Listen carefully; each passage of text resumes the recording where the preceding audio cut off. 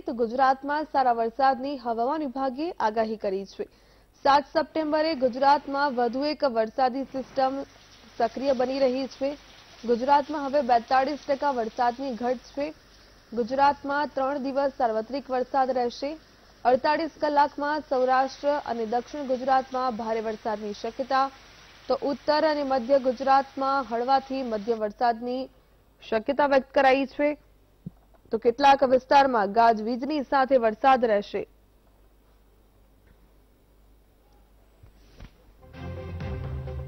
आ, आज गुजरात स्टेट में पूरे गुजरात में बारिश मिलेगी लाइट टू मॉडरेट मिलने का संभावना है और कहीं कहीं जगहों में आइसोलेटेड हेवी एक आध जगह में हेवी रेन हो सकता है गुजरात रीजन में सौराष्ट्र कच्छ में हेवी हो, होगा आइसोलेटेड हेवी रेनफॉल होगा लेकिन कहीं एक आध जगह में भेरी हेवी भी हो सकता है जैसे द्वारका में भेरी हेवी होने का संभावना है। कच्छ में भी रूल्ड आउट नहीं है।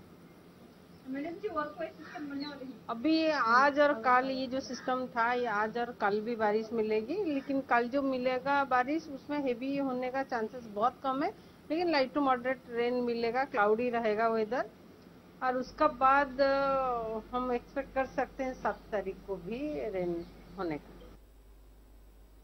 તો હવામાન વિભાગ દ્વારા વરસાદની આગાહી કરવામાં આવી છે. વધુ એક વરસાદી સિસ્ટમ સાત સપ્ટેમ્બરે સક્રિય બની રહી છે.